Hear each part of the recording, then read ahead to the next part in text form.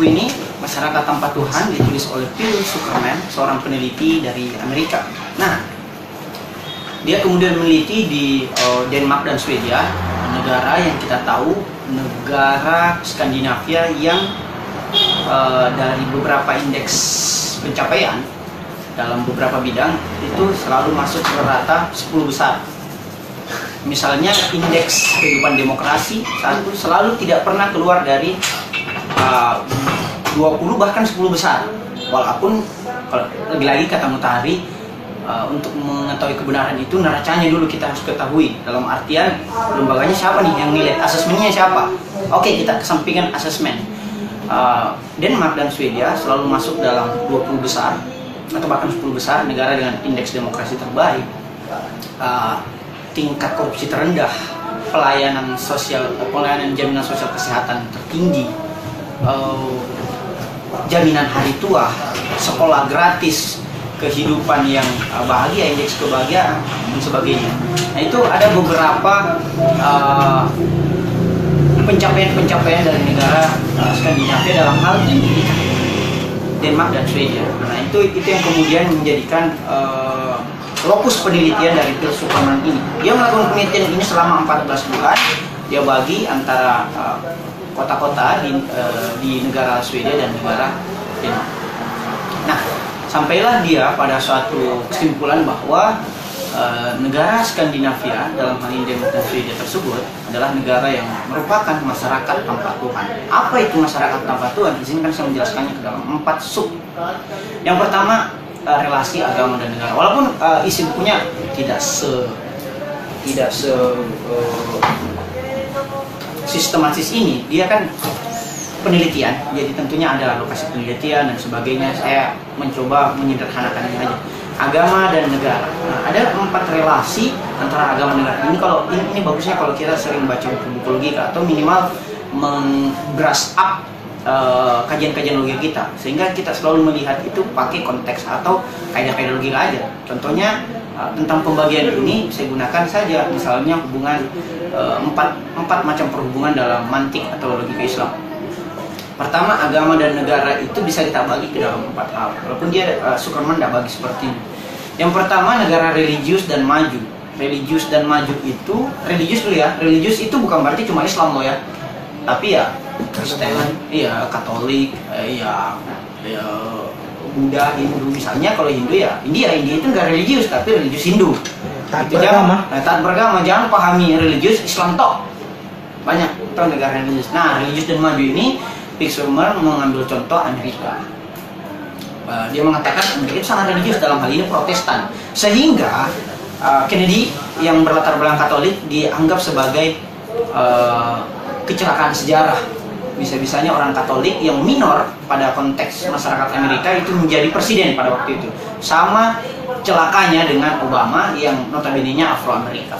Nah, religius dan maju tadi contoh Amerika. Yang kedua, irreligius atau tidak tidak meyakini satu konsep keberagamaan yang transenden uh, tapi maju contoh itu negara-negara Skandinavia nanti kita jelaskan apa bedanya masyarakat tanpa agama dan masyarakat tanpa Tuhan nah yang ketiga religius tapi dia terbelakang nah, dia mencontohkan ini ya negara-negara di Timur Tengah uh, katakanlah misalnya Yaman atau yang dibombardir oleh Arab Saudi Bahrain uh, Suria itu negara-negara terbelakang. Saya tidak mengatakan bahwa negara-negara yang kaya sumber daya alam itu maju ya, karena sumber daya alam itu sendiri bisa menjadi malapetaka. Contoh Indonesia yang sangat kaya sumber daya alam tapi menjadi uh, bencana karena SDA kita lah yang kemudian menyebabkan invasi dari Eropa masuk pada abad ke-16 sampai uh, sesama bangsa itu berkelahi gara-gara SDA.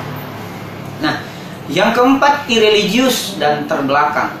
Nah, irreligius dan terbelakang contoh Korea Utara, negara rezim komunis yang juga terbelakang. Contoh Bosnia, ada beberapa contoh di sini bahkan di, dikasih masuk juga Uni Soviet dan Cina. Walaupun tidak relevan lagi ya, Uni Soviet itu kan sekarang Rusia, negara maju dan Cina apalagi sekarang menjadi negara maju. Bukan hanya negara maju tapi negara yang terdepan atau advice yang bisa berhadapan-hadapan dengan Amerika. Nah, itu empat pembagian uh, relasi agama dan negara. Kemudian apa yang disebut sebagai masyarakat sekuler atau masyarakat tanpa Tuhan. Itu berbeda dengan masyarakat tanpa agama. Nah di Skandinavia atau Denmark dan Swedia ini bukannya tidak beragama, dia hanya tidak percaya pada konsep-konsep yang transenden. Pun mereka percaya, beberapa orang percaya ketika diwawancara oleh P. Superman, dia hanya percaya pada ruang-ruang privat aja, tidak dipublikasikan. Ketika ada yang percaya pada hal-hal transenden dan dipublikasikan, malah dia ditertawakan. Itu di Denmark dan Swedia. Jadi kalau konsumsi beragamanya mereka itu tidak ada yang transenden. Nah, agama kemudian ia percaya hanya sebagai uh, produk budaya aja gitu. Makanya mereka tetap punya gereja, mereka tetap membaptis anaknya ke gereja, mereka tetap merayakan hari Natal, merayakan misa, merayakan Paskah dan sebagainya. Tetapi tidak ada lagi uh, transendensi ke Tuhan dalam hal ini uh, dalam hal ini Tuhan yang kita maksud monoteisme. Mereka juga tidak percaya pada konsep trinitas. Ini Skandinavia tidak percaya karena mengatakan bahwa itu adalah sesuatu yang sangat wishful thinking. Nah, tetapi mereka tetap menjalankan praktik-praktik ritus kebudayaan agama tersebut seperti Natal dan sebagainya tadi. Nah, uh, itu artinya mereka tidak percaya yang gaib. Jadi tidak percaya yang gaib. Kalaupun mereka percaya, sekali lagi itu konsumsi privat. Hanya beberapa orang yang percaya dan tidak akan dipublikasi seperti ini. Nah, tetapi di saat yang bersamaan mereka menolak untuk disebut sebagai ateisme karena ateisme menurutnya itu terkesan terminologi yang sangat negatif.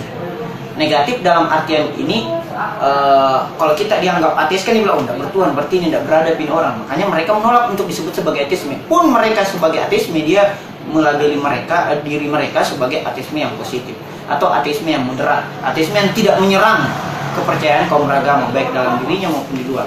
Sehingga uh, peristiwa-peristiwa penyerangan agama itu kita dapati selalu di negara-negara Skandinavia karena memang pada dasarnya dia tidak percaya pada konsepsi yang namanya sesuatu yang tersendiri. Kita ambil contoh ya, Charles Hebdo. Charles Hebdo itu sebuah media di Denmark yang menggambar kartunnya Nabi Muhammad SAW sehingga uh, mendapat protes dari seluruh negara Muslim. Nah, pertanyaannya adalah mengapa negara-negara Skandinavia itu yang notabene-nya tidak percaya pada Tuhan tapi maju mulai dari kehidupan politik, ekonomi, pendidikan dan kesehatan. Ini kan menjadi tamparan bagi kita sebagai masyarakat Muslim terbesar di dunia dalam hal ini Indonesia. Apa yang menyebabkan mereka itu? Apakah karena ketidakpercayaannya pada Tuhan yang menyebabkan dia maju? Tentunya bukan. Karena ada yang percaya Tuhan, tapi tetap maju juga. Contohnya tadi Amerika kan. Dan di saat yang bersamaan, ada yang tidak percaya sama Tuhan, tapi terbelakang. Contohnya tadi Korea Utara. Sehingga tesis kemajuannya bukan karena mereka tidak percaya pada Tuhan. Tapi karena mereka itu mengutamakan hal-hal yang sifatnya ilmiah Nah, kenapa bisa terjadi ketidakpercayaan pada Tuhan dalam konteks masyarakat Skandinavia? Ada lima penyebab. Pertama, karena kemalasan gereja. Apa yang dimaksud kemalasan gereja? Kemalasan gereja adalah gereja di sana dibayar oleh pemerintah, APBN. Beda dengan gereja di Amerika, negara Phil Sukarman ini penulisnya. Dia, dia bandingkan bahwa di Amerika gereja itu privat, sehingga harus mencari cara untuk menarik jemaat.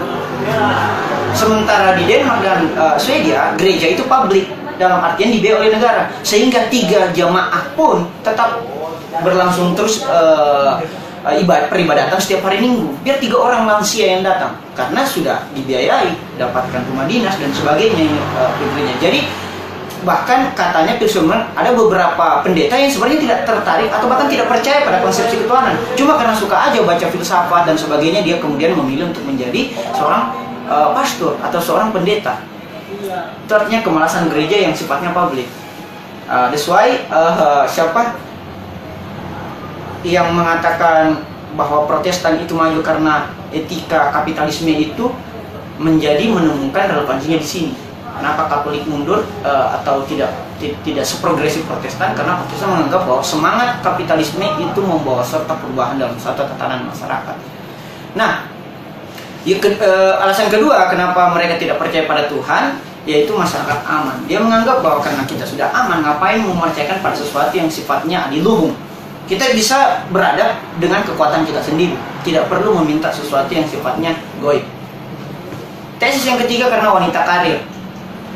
Karena makin banyaknya wanita-wanita yang kerja, membuat uh, kepercayaan terhadap Tuhan juga itu menurun. Kenapa? Karena dulu ketika wanita berada di dapur dan memberikan makan, wanitalah yang kemudian di waktu senggangnya datang ke gereja, datang ke pertemuan keagamaan, uh, mengingatkan suaminya untuk misalnya kalau dalam konteks kita sholat dan sebagainya. Tetapi karena wanita juga sibuk, mereka semua memikirkan dunia. Ada pula tesis yang keempat yaitu tradisi Nordik. Tradisi Nordik itu karena memang eh, bangsa Nordik ini percaya kepada sesuatu yang sifatnya dewa. Kayak Thor dan sebagainya. Dia tidak percaya pada konsep monoteisme. Dia lebih kepada politeisme. Banyak dewa seperti itu. Sebenarnya ada tesis kelima, tapi saya tidak sertakan karena menurut saya sangat rancu yaitu karena kemajuan ilmu pengetahuan. Katanya mereka tidak percaya Tuhan karena semakin maju ilmu pengetahuannya. Menurut saya itu sangat sangat debatable banget. Sehingga di kesimpulan nanti kita akan bahas kenapa uh, tesis pendidikan yang membuat mereka menjadi tidak percaya Tuhan tidak sesertakan di sini. Nah, kesimpulan yang bisa kita ambil adalah pertama uh, bagaimana uh, kualitas dari bangsa kita atau kualiti dari uh, umat beragama ini bisa mengejar ketertinggalan. Kita berbicara kualitas. Jadi Islam kuantitas dalam konteks masyarakat kita itu menjadi tidak relevan. Sehingga pembahasan kemarin bahwa ih tapi kita tahu yang pergi ekspansi ke Eropa dan bla itu lain soal. Kita berbicara uh, kualitas keislamannya bukan kuantitas. Ngapain kuantitas itu eksponensial bertumbuh tetapi secara kualitas itu kita justru menurun, semakin tidak berakhlak sehingga yang mesti kita kejar adalah ketertinggalan ketertinggalan, ketertinggalan kita. Sembari mengakui bahwa memang kita tertinggal dalam beberapa bidang khususnya ilmu pengetahuan dan teknologi. Setelah kita dapat mengejar ketertinggalan itu kita bisa menciptakan dialog yang asertif bertukar kebudayaan atau meminjam kebudayaan mereka mengekspor kebudayaan kita yang sama-sama menciptakan sebuah peradaban global Nah, yang ketiga baru kita bisa menjadi contoh. Ini tahapan ya, bukan bukan opsional, tahapan. Baru kita bisa menjadi contoh menjadi contoh bagi mereka bahwa uh, pandangan dunia ketuhanan pun sebenarnya bisa menjadi sebuah masyarakat yang beradab. Dan yang paling terakhir adalah kita harus kembali kepada Al-Quran. Kristen, baik itu Protestan maupun Katolik, bisa maju karena dia meninggalkan Injil dengan semangat sainsnya, semangat ilmu pengetahuannya. Itu ditandai dengan Renaissance. Sementara Islam mundur di abad ke-15, itu karena dia meninggalkan Al-Quran. Nah, kenapa kita harus kembali kepada Al-Quran? Karena Al-Quran adalah kitab yang sangat saintifik menurut saya. Sehingga kita harus kembalikan seluruh gagasan-gagasan filosofis kita dengan uh, ilham-ilham uh, atau wahyu-wahyu yang sifatnya ada. Sehingga terciptalah sebuah masyarakat yang bukan saja intelek tetapi juga spiritual. Sekiranya itu pengantar singkat saya. Terima kasih. Wassalamualaikum warahmatullahi wabarakatuh mungkin ada uh, diskusi bagi teman-teman kita masih ada waktu sekitar 5 sampai 10 menit monggo yang menjadi relevan juga ketika ada satu pembahasan di buku ini Tuhan maafkan sih dia, dia bilang bahwa ulama itu terlalu diidentikan dengan ahli fikih. Iya. Hmm, padahal itu cuma salah satu bagian aja. ya. UKH itu hanya salah satu bagian. Masalah-masalah atau sesuatu yang ingin dibicarakan pertimbangan selalu jatuh pada halal haram aja. Halal haram. Itu jadi memang ulama itu kan luas banyak kan bisa dokter juga di dalamnya iya bisa dokter. Politikus. Bukan cuma ahli hukum. Bukan cuma nah, itu menjadi salah satu problem. Problem masalah yang menjadikan Islam itu menjadi mundur. Mundur. Karena segala sesuatu itu dinisbatkan kepada halal haramnya aja. Ya perubahan uh, uh, apa kalau bahasanya kajal kejumudan berpikir. Stagnansi kalau kita kembalikan ini pada soal halal haram aja padahal uh, ada mengapa dia bisa halal mengapa dia bisa haram dan sebagainya. Des mungkin? Saya kak ya. Uh, pertama sebenarnya simple. Apa parameter kak Tonton dalam dalam penyebutan suatu negara itu maju atau terbelakang? Karena saya tadi mendengar Yaman juga masuk ke religius tapi terbelakang. Hmm. Nah terus yang kedua saran untuk yang di bagian mengapa sebenarnya harus dimasukkan mengenai kemajuan teknologi karena efeknya pada kita dari Kapten sendiri akan memberikan kemajuan teknologi sebenarnya adalah hal yang baik dan bagaimana caranya kita bisa menyikapi bahwa dengan maju teknologi kita juga maju dalam hal keagamaan seperti itu. Ya baik itu kak. Yang kedua itu saran yang pertama pertanyaan. Kalau yang kedua kan saya jelaskan tadi bahwa kita harus mengakui ketertinggalan kita pada dimensi ilmu pengetahuan dan teknologi sehingga kita harus mengejar ketertinggalan itu. Makanya saya bilang kita harus Islam kualitas. Kalau dalam Islam itu tidak ada segregasi atau pembedaan antara ilmu pengetahuan dan wahyu. Dalam hal ini sesuatu yang ilmiah, iptek dengan sesuatu yang transender